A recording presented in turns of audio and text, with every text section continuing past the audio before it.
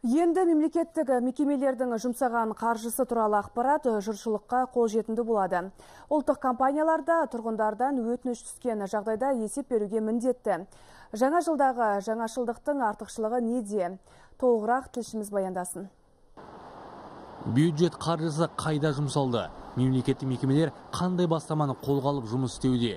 Енді әр қазақстанда бұл сұрақтарды тікелей тиісті орынға төтесінен қоя алады. Бар болғаны электронды өтініш жолдау қажет. Жаңа жылдағы жаңашылдық ақпаратқа қолжетімділік туралы заңның күшіне енуімен келді. субъектами, обладателями информации. Жаңа заң бойынша мемлекеттік мекемелерден бөлек бюджеттен қаржы алған бизнес субъектілері мен мемлекеттік емес ұйымдарда өтініш түскен жағдайда жауап беруге міндеттеледі. Олардың барлығы ақпараттың қолжетімділігін қамтамасыз етуі тиіс.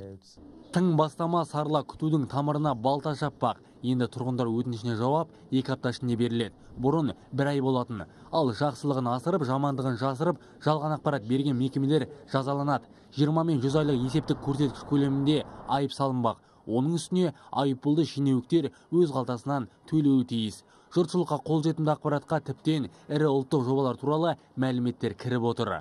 Соответствии с принятым законом Қабылданған заң бойынша мемлекет есебінен қаржыландыратын жобалар бюджет ақшасының қайда жұмсалғаны секілді барлық ақпарат ашық болады. Жемқорлықпен күресуде мемлекет қазынасының қайда жұмсалып жатқанын жариялау маңызды қадам.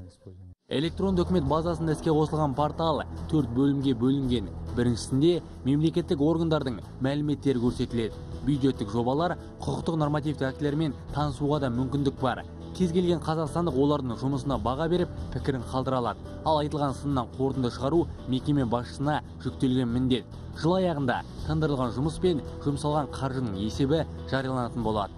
для того, чтобы пользоваться порталды пайдалану үшін электронды үкіметке тіркелу қажет тек содан кейін пікір қалдыруға жаңалықтарға жазылуға болады егер де мемлекеттік мекемелердің бірі жаңадан құжат жарияласа ол туралы сіздің жеке кабинетіңізге хабарлама келеді ал ұялы телефоныңызды тіркесеңіз онда смс жіберіледі Енді министр мен ректорлардың жыл сайынғы есебінде онлайн қадағалауға болады. Ғаламторда мәжіліс пен сенат отырысының тікелей қосылымдары да көрсетілмек. Жобаны қолға алушылардың айтуынша, бұл жұмыс 2016 жылдың аяғына дейін бір жүйеге түседі.